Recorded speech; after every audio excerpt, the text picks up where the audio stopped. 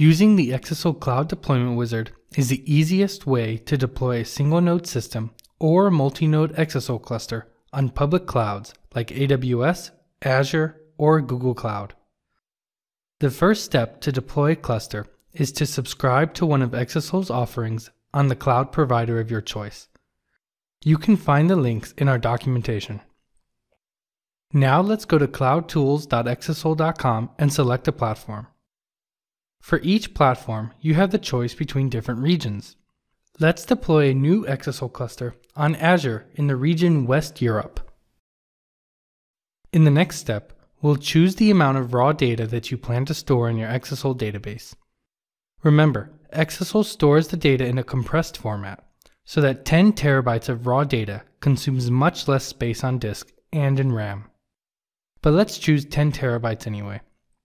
That's the actual uncompressed size of the data that we want to store. Now you already see a recommended configuration here on the right. Three cluster nodes of type standard E64S v3, and in total about 1 terabyte of memory. This is the so-called basic configuration. It's the cost-effective one. You can see the estimated costs for the Azure instances, the storage cost, and the cost of the Exasol database software here on the bottom. When you want a high performance cluster, choose this configuration. It has similar amounts of RAM and storage space, but has more powerful vCPUs. So choose this for high compute power and maximum concurrency. For most use cases, the balanced configuration is well suited. Its settings and its price is between the basic and the high performance configurations. If you manually want to adjust these recommended settings, you can use your configuration as a base for an advanced configuration. Here you can change the instances, the number of nodes, the license model, and so on. The default license model is pay as you go. The cost for the Exasol software is charged directly to the cloud provider on an hourly basis.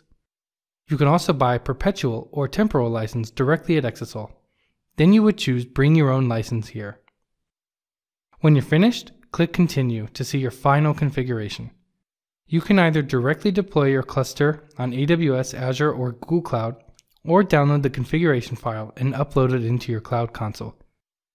In just a few minutes, your cluster will be up and running in the cloud.